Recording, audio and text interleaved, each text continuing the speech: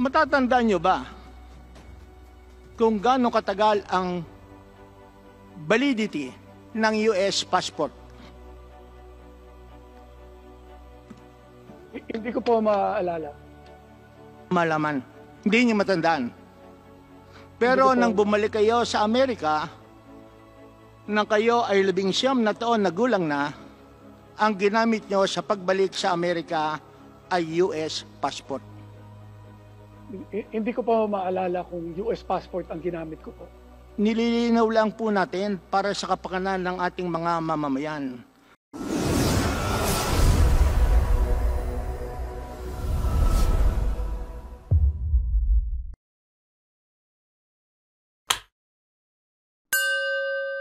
Nagpapatunay na kayo ay may binling ari-arian sa Amerika ay sasabihin nyo ang inyong personal circumstances.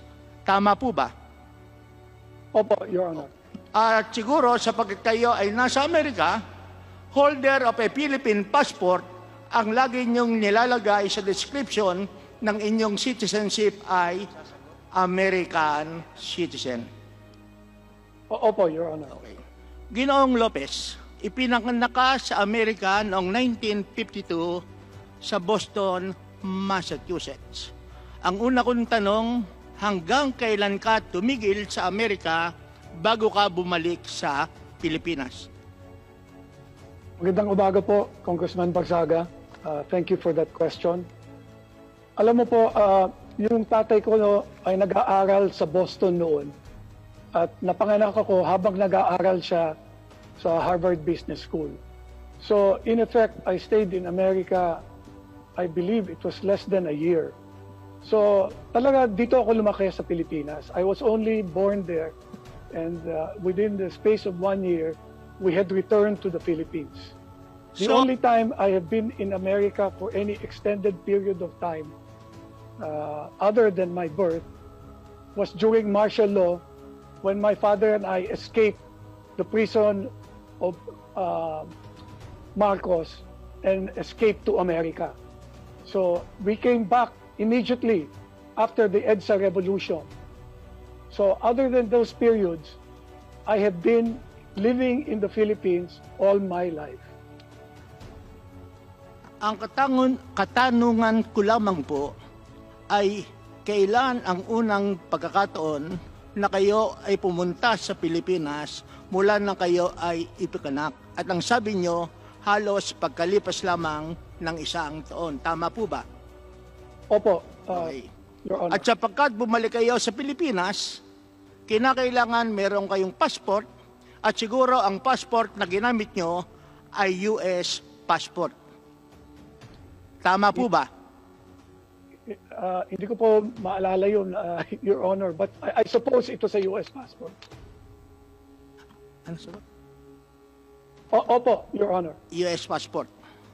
At nang bumalik kayo sa Pilipinas, one year after your birth, bumalik ba ulit kayo sa Amerika? I, I, as I said, I went back to America to go to college, Your Honor. More or less ilang taon yon sa una niyong pagdating sa Pilipinas? I believe I was uh, 19 years old, Your Honor. 19 years old. Matatandaan nyo ba kung gaano katagal ang validity ng US passport? Hindi ko po maaalala. Malaman. Hindi nyo matandaan. Pero nang bumalik kayo sa Amerika, nang kayo ay labing siyam na taon na gulang na, ang ginamit nyo sa pagbalik sa Amerika ay US passport. Hindi ko po maalala kung US passport ang ginamit ko. Nililinaw lang po natin para sa kapakanan ng ating mga mamamayan.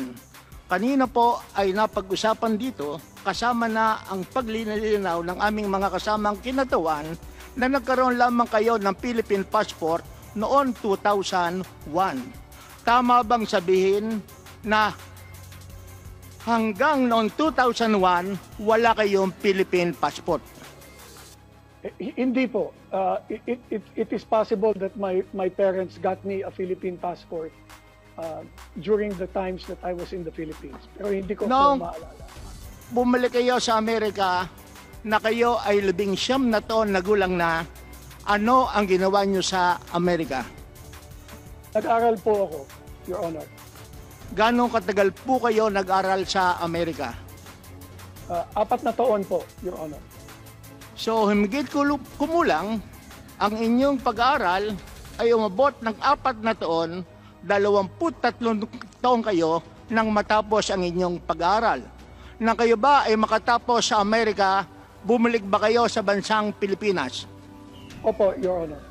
Okay. Ah, nung kayo ay bumalik sa Pilipinas, ang gamit nyo rin ay US passport when you were already 23 years of age. I, I cannot recall, Your Honor. Okay, you cannot recall. Noong bumalik kayo when you were already 23 years of age, and that would be approximately in 1965. Umalis ba ulit kayo sa Pilipinas at bumalik sa Amerika? Opo, Your Honor. Natatandaan niyo po ba kung kailan kayo bumalik sa Amerika pagkatapos niyong dumating sa Pilipinas noong 1965? I, I think I have the you, you, uh, we have the dates wrong. No? Uh, 1952, I was in the Philippines 19 years. So I was I, I went to America in 1970. I graduated from college in 1974. Tumakas kami sa uh, sa Amerika in 1977 and I went to uh, take my master's in Boston in 1978 and I came back in 1986 po. So, sa EDSA madaling sabi, tama ba yung sagot, yung appreciation namin kanina na pagkalipas ng apat na taon ng inyong pag-aaral sa Amerika, bumalik na kayo sa Pilipinas? Opo, Your Honor. And that would be approximately in 1965 sapagkat ang edad nyo noon ay halos 23 years old. Sapagkat ang sabi nyo, labing siyam na taong labing siyam na taong kayong gulang nang kayo ay bumalik sa Amerika. Opo, but it's not 1965 po. Uh, it's 1975 po, Your Honor. 1975 na kayo ay bumalik sa Pilipinas. Amer- sa, sa Amerika. I was 23 years old. Okay, 1952 to 1975 nang kayo ay bumalik sa Amerika. 1975. Uh, Okay. No, I, I went back in 1977 yata po. At bumalik kayo Bumalik ako sa Amerika. Tumakas 19 po ako. Tumakas ko po a- a- ako kasama ng tatay ko. And si Senator Osmeña, in 1975. 1977. 1977. Opo.